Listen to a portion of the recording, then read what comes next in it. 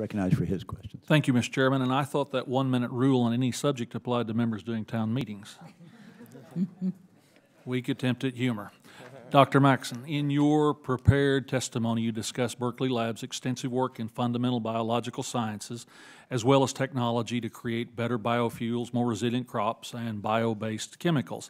And in all fairness, I have the privilege, and in addition to serving on this great committee, of serving on the Ag Committee, and I'm a farmer by trade. So let's expand for a little bit. Could you provide more information on how researchers at Berkeley are improving these processes? Thank you for that question. I'll, I'll take a shot at that.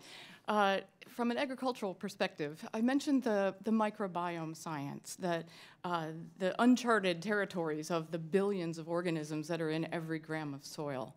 One could imagine that with uh, a deeper understanding of how these microbial communities uh, communicate with each other and influence the environments around them.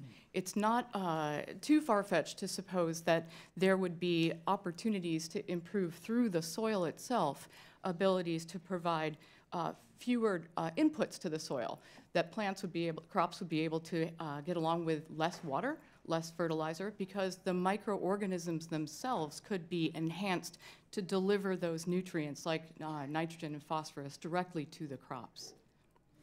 Along that line, your testimony mentions the Joint Bioenergy Institute, uh, uh, and looks at improving those bioproducts at the molecular level. Give us some examples of how JBEI can accomplish this, but only in a national lab kind of an environment.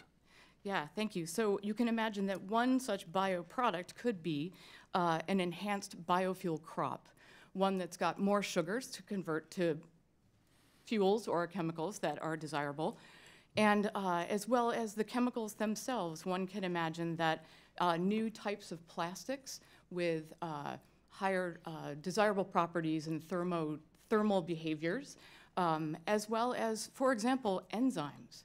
Laundry detergent enzymes are ones that we use every day. That particular uh, market, for example, is on the order of $6.2 billion. So being able to do end-to-end scientific discovery from, uh, from discovery to use inspired and then hand off to companies is something that the national labs in JBEI particular is very good at. Taking this one step further, I'm also fascinated by the nexus between high-performance computing research at Berkeley and the progress in the biological sciences, particularly how Berkeley is using the supercomputers to analyze massive amounts, I think that's the appropriate phrase, massive amounts of biological data to learn more about everything from microbes to biofuel. What are the limitations to today's computing systems when you're trying to solve these complex biological challenges? We, as biologists, are, I would say, a bit behind uh, some of the other fields, such as physics in uh, big data uh, understanding and approaches.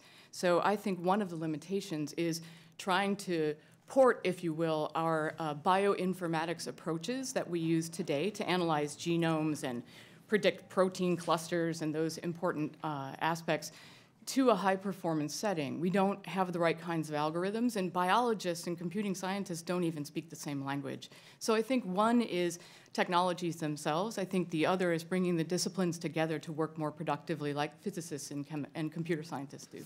Expand for just a moment on the technology side of that equation, the physical part, where we where you need to be going. Yes. Uh, so this is not my area of expertise, but when you when you think about using uh, computers that have multiple cores, that means the algorithms run very differently than the computers that don't use multiple cores. And so the things that we are set up to do today, let's say analyzing a genome, uh, can take on the order of, I don't know, 40 days. You, transporting that with new hardware and new software to a high performance platform, you can do the same type of analysis about an hour. Thank you, Doctor. And I would hope my dear old freshman agronomy professor from Oklahoma State, uh, Mr. Chairman, be proud that I focused on the important issues. Thank you. Yield back. Uh, thank you, Mr.